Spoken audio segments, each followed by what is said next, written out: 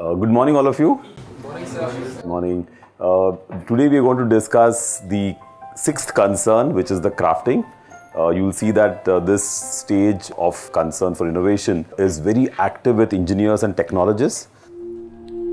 This is a stage where all the aspects of engineering come in, uh, and uh, designers, managers, and product developers have to work with engineers and manufacturers to get the things out.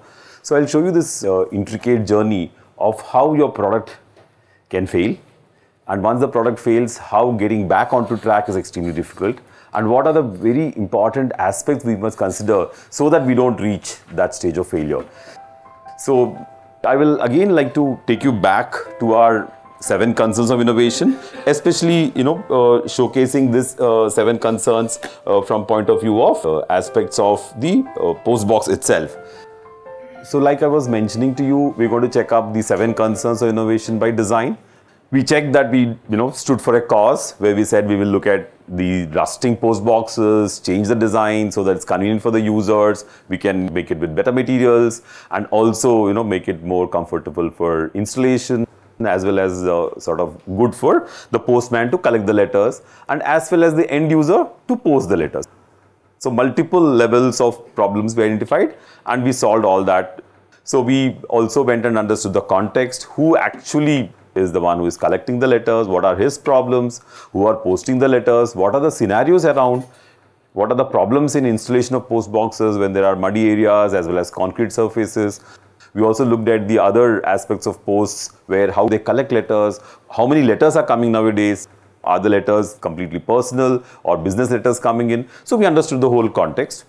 And then we went ahead and you know sort of checked the understanding of both the context and the cause and found out that current key aspects, you know, this post box, we have to very clearly understand that it should not rust.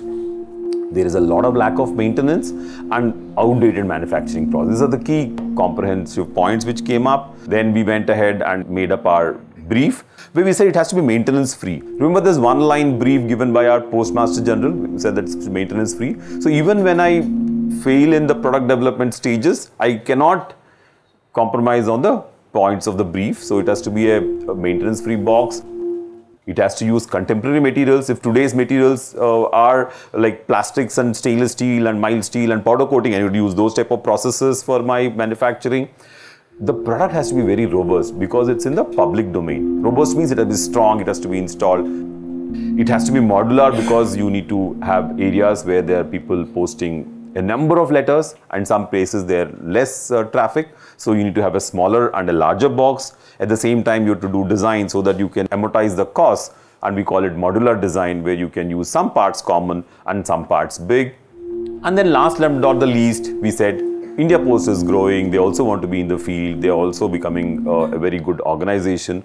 So why can't we think of creating a unique identity for India Post?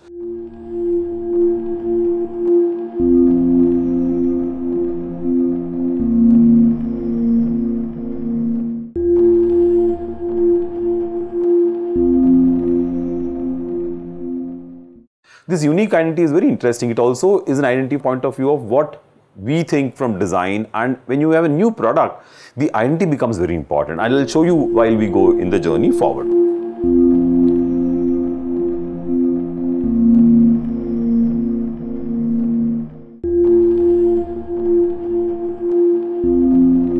So then we came up with these ideas. Very clear how we amalgamated ideas and came up with concepts